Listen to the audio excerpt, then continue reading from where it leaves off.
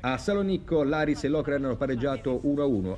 Tutto nella ripresa hanno segnato Elchiar, il danese della formazione belga dell'Okeren, e Kuis sul rigore, come vedremo. Ecco il gol di Elchiar, da notare che questi due giocatori avevano segnato nella stessa porta nella partita giocata per il gruppo eh, 5 fra le nazionali di Grecia e Danimarca. Ecco l'azione del rigore, dopo il gol di Elchiar, dunque il pareggio di Kuis, anche qui nella stessa porta in cui aveva segnato contro la Danimarca.